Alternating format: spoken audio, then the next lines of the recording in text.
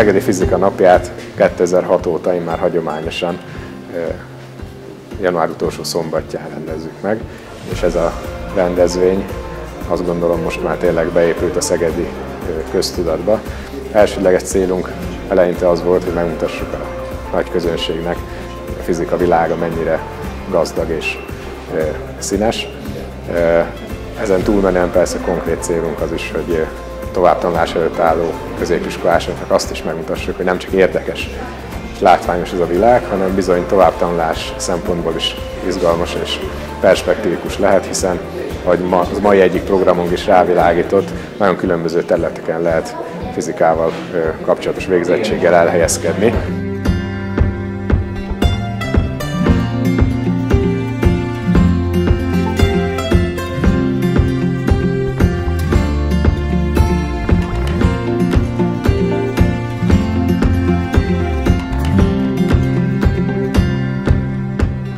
Azt gondoljuk, hogy a mai nap is egy nagy siker.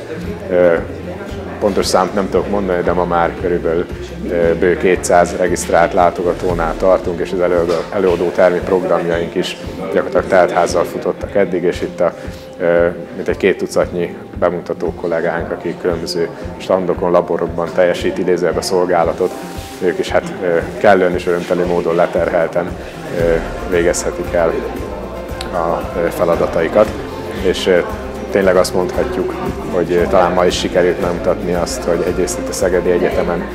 milyen változatos témákkal, kutatási témákkal és ezzel összefüggésben képzési lehetőségekkel találkozhat az, aki mondjuk az egyetemet választja továbbtanulási célként, illetve hogy általában véve is a fizika és az itt művelt fizika milyen széles távlatokat nyithat és milyen érdekes területeket ölel fel.